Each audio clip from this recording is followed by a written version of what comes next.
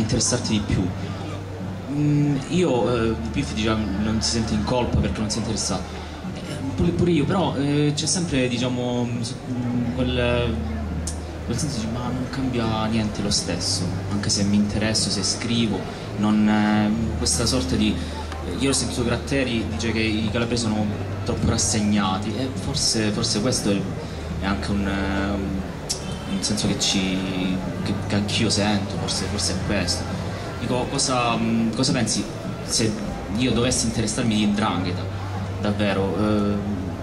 anche non, non, credendo che non può cambiare niente lo stesso, come, come, come fare? Beh, allora io chiaramente quando ho cominciato a scrivere non mi sono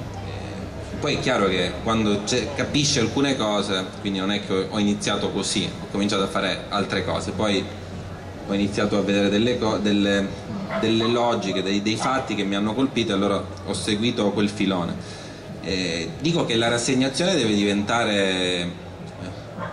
deve trasformarsi in voglia di cambiare e poi il giornalista non può cambiare nulla cioè, eh,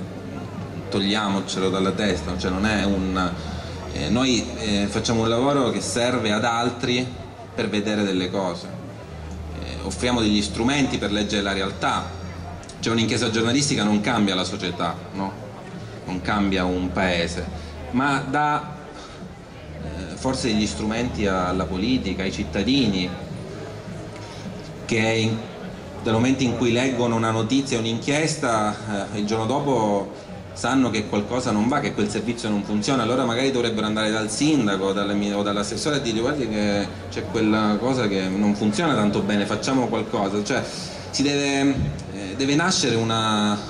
una sinergia no? tra il giornalista, tra i cittadini, tra la politica. Quindi credo che, insomma, la, no, non, io eh, credo che le cose possano cambiare, ma non perché eh, faccio il giornalista e credo che possano cambiare per il mio lavoro, per, per il lavoro che faccio perché vedo in tanti giovani la voglia di cambiare, perché i giovani eh, sono anni che stanno subendo tantissimo, cioè dalla,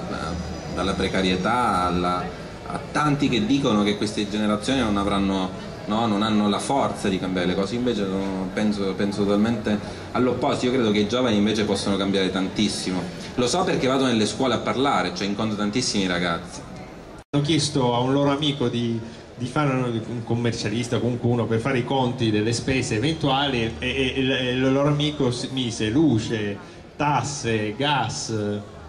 eh, pulizie, pizzo, cioè aveva messo nella lista pizzo per, perché eh, dice così. E da lì, insomma, da quella, da, loro sono rimasti un po' così come pizzo, perché non avendo a che fare col commercio non è, è una cosa lontana. Insomma, dei ragazzi sfigati che nessuno, nessuno conosceva eh, hanno avuto una reazione anche un po' infantile di attaccare un quartiere, hanno cominciato ad attaccare una notte un, de, de, degli adesivi con su scritto eh, chi paga il pizzo, eh, il popolo che paga un pizzo è un popolo senza dignità e, e, e insomma da quella sera ora sono un, un, una delle associazioni più importanti eh, del a Palermo anti-racket e, e, io ogni volta che guardo quella storia, rivedo quella storia, cioè, dico forse c'è speranza perché oggi ci sono circa, ora non vorrei dire, eh, ma circa 800 eh, negozianti a Palermo che, che, non pagano il pizzo. Ti volevo chiedere se ti senti di aver sdoganato il tema delle mafie al nord. No,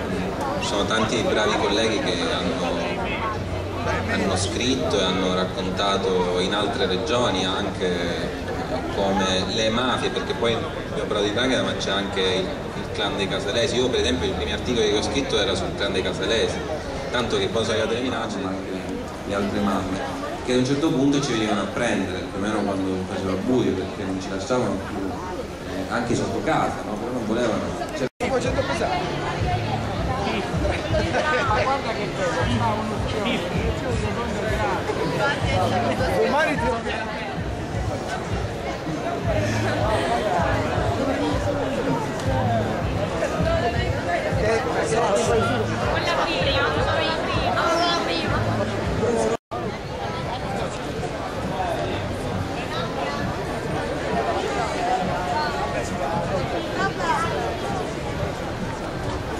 Let's